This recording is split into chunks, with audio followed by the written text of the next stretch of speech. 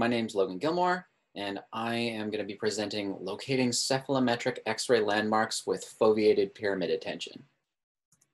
So we're going to jump right into the problem here. This is a uh, lateral cephalometric X-ray where we can see that there's these 19 landmarks have been labeled onto this image. They're used for diagnostic purposes for orthodontic surgeries and stuff like this, um, but we're just going to be focusing on finding the landmarks themselves. So this data set has 400 images in it, and it's been labeled by two different medical doctors.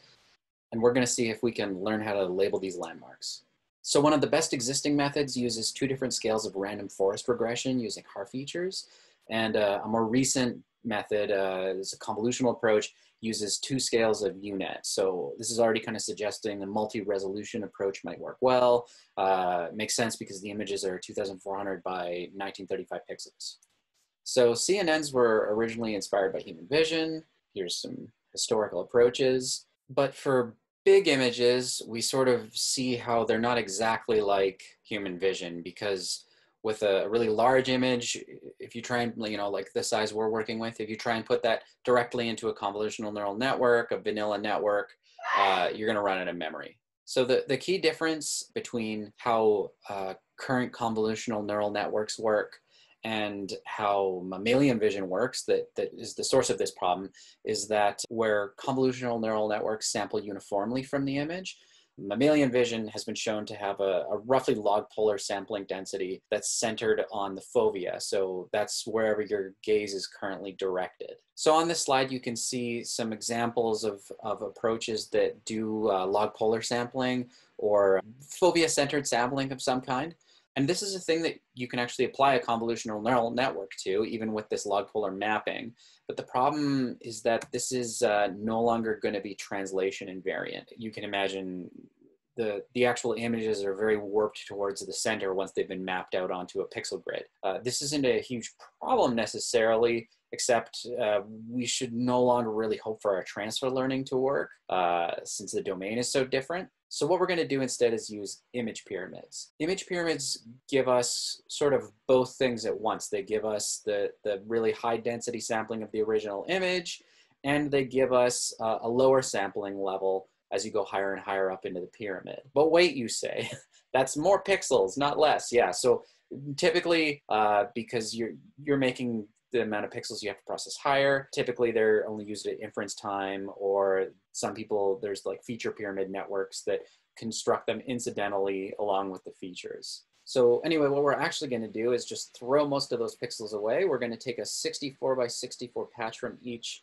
uh, level of the pyramid centered on wherever we're currently focused. Uh, we're going to use some kind of iterative method to decide where to focus. But the notable thing here is that if we use a fixed number of iterations, then the problem scales with the log of the side length of the image rather than the square of the side length of the image, which is a huge improvement and makes much larger images possible. So here's the, the proposed method. Our goal here is we're, we're trying to figure out where that ground truth red dot is in the, in the figure on the slide. And so we're gonna make a Gaussian pyramid from the image. And then we're gonna take a column from the image pyramid centered on our initialization. Here we just have it as the center of the image. And we're gonna try and predict where that red dot is. And so uh, the CNN will process all these different levels of the pyramid. You'll see that at the top level, the lowest resolution, the red dot's inside of it. So we probably can have a good chance of knowing where the landmark is at that level. And at, by the time we get to the highest resolution, it's actually not currently in view. So that level probably won't contribute much to the process. So then we're going to take all of the outputs from these CNNs, we're going to put them together somehow, we're going to feed them into a neural network, and we're going to predict a location. So then now that we have this new predicted landmark location, then we're just gonna iterate this process again. So we've got this gray predicted dot and uh, we're gonna take a new column, the uh, set of dashed gray patches, um, which you can now see is much closer to the ground truth landmark, the red dot we're trying to find. And then we're gonna make a new prediction because more levels of the pyramid can actually see the red dot within the, the column of patches now, the glimpse um, we should be able to make a better prediction. So then we just iterate this process 10 times and take whatever the final prediction is. So there's some existing literature out there that, that does something like this, uh, specifically recurrent models of visual attention. um, uses a similar column taken from what looks to be an image pyramid and they use an iterative process, moving their focus point around the image. Um, what they're doing is more complicated in some ways than what we're doing because they uh, they're using a recurrent neural network that's taking into account past glimpses, back propagating through time, all of that stuff. And an additional major difference is that uh, they're directly processing those pixels with the recurrent neural network, whereas we're going to process these things with a convolutional neural network to hopefully be a little bit closer to human vision. Okay, so now we'll kind of break down the uh, individual pieces of this process a little further. So the, the first thing is the creation of the image pyramid. It's a Gaussian pyramid it's downsampled by a factor of two at each level. Uh, again, the patches, the gray there are 64 by 64 pixel patches. And there should be enough levels in the pyramid that the top level of the pyramid encapsulates basically the whole image. So it's sufficiently downsampled that 64 by 64 is enough to see the whole thing. So for a visualization of what this looks like to the CNN, um, you can have a look at this figure. Uh, the red point here is the, the lower incisor landmark, and you can see that near the landmark, we have really high resolution. And then as we sample further and further from the landmark location, uh, we can see that there's lower and lower resolution as we step up levels in the pyramid. Okay, so next we're gonna figure out what the CNN is gonna look like. So one of our inspirations was uh, Trident Networks. Uh, specifically what they do for object detection is that they simultaneously process inputs uh, at three different effective resolutions, uh, though they use dilated convolutions rather than an image pyramid to do that. So our approach hopefully has a little bit less aliasing than this. Uh, and the way they do this is they just use the same kind of a CNN you would use for one level, and then they uh, run three different instances in parallel, which is sort of equivalent to do a, to doing kind of a weight sharing. So our CNN is a ResNet 34. It's pre-trained on ImageNet.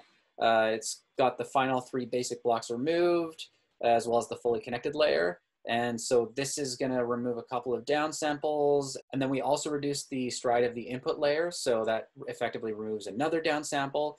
So for a 64 by 64 patch input now, the resulting activation is going to be uh, 256 by 8 by 8 volume. So again, you can see there's four instances of the CNN in this uh, figure.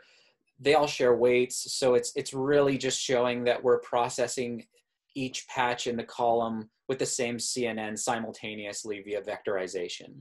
The reason we're using these big activation volumes is so that we can take methods developed in the pose detection literature uh, for regression of joints, like human joints in images. What they found there is that it's actually more accurate to reformulate the problem as predicting a heat map of, of most likely joint locations and then taking the maximum valued pixel and treating that as your location within the original image. Uh, rather than just having a linear layer at the end of the convolutional network predict a coordinate. Particularly, we're interested in integral human pose regression, which reformulates that taking the maximum valued pixel in the heat map as instead taking the expectation of those values, uh, which effectively reformulates it as a center of mass type calculation. This has a couple benefits. One, it's differentiable, which is going to be important. And additionally, it means that you can get away with quite a bit smaller heat maps because each pixel is sort of taken into account for that final regression calculation. So what we're trying to do though is a little bit more complicated because we have all these different levels of the pyramid that we want to treat as sort of one cohesive foveated image. So if we just do like an integral regression at each level of the pyramid and average them, we're not really allowing for the sort of rich relationship across scales that we would hope for in, in something a little bit more cohesive that really takes advantage of the representation we're building. So if you've ever seen a visualization of the activations of later layers of convolutional neural networks, you'll sort of see that they learn to find these fairly high level features. You could kind of interpret the activations as a heat map. And so the insight here is what if we regress the locations of these arbitrarily found intermediate features rather than the location of the landmark we're actually trying to regress, and then use these features, what we call spatialized features, to then combine all the different resolutions together and regress the actual landmark location. So you can see here, we're taking this activation volume in and the, the two little cutouts are sort of little pretend versions of what you might see inside of one of these activations. So one of the one of the eight by eight little patches from this volume sort of shows a feature that's strongly localized by the convolutional neural, neural network and it has a location that we can point to here. So we can use integral regression to convert this this 8 by 8 raw activation uh, into a probability distribution via softmax and then find the expected value of its activation. And so we can do this for each of the 256 8 by 8 activations and then concatenate all of these locations of these features that we've found, uh, that we've learned to find into a big feature vector. You could also imagine though, like if you see the second cutout there, where there's really not much activation at all, probably the feature it's expecting to see is not present, um, you would want some way for the network to be able to indicate this. So the reason that we've got three vectors instead of just a, a two-dimensional coordinate is that the final value is the expectation of the raw activations. So you can kind of think of this as, as a softmax pool because we're weighting the original raw activations by the resulting probability distribution we derive from them. So we're going to end up with an average of the activation weighted towards the highest activations. So the assumption that this kind of forces the ConvNet to deal with is that each of its activations then at its output represents a feature that can be kind of localized and described by its center of mass plus one number indicating how present that feature is. Uh, so we can kind of look at uh, some visualizations of features that it learns overlaid on top of the image. So each quadrant here is a different feature. The red dot is the landmark, the sella. That's the landmark that we were learning to localize. So the first thing you can notice is that it's, it's not just learning to localize the average position of the sella with every feature and sort of average them all together. It's, it's sort of actually learning something more useful. So on the left-hand side there, you can see the, uh, the, the top of the two rows of images. It's sort of learning to find this point uh, kind of at the back of the teeth. And then in the lower row, it's, it's learning to localize this point sort of tucked into the eye socket. On the right-hand side, we have a higher resolution patch. It's, it's closer to the, uh, the native image resolution. And one of them is sort of finding a blob that seems to fit to the sella there. But then the other is sort of finding some point on that contour. So you can kind of see that it, it learned how to find these, these useful points uh, so that later on, once we feed this into the next part of the network, these, these small like shrunk down three vectors describe something useful. Okay, so now we're just gonna step back to the big picture. Um, a quick note, uh, we've been talking about four levels. That's what we've got in the slides here. Actually in the implementation, there are six levels. It's just easier to fit four levels on the slide, makes a better diagram. So talking about six levels, we've got six sets of 256 three vectors. And so we're gonna take all of those things and we're gonna flatten them into one great big 4,608 vector. And then we're gonna push that through a standard multi-layer perceptron. So that MLP has all ReLU activations.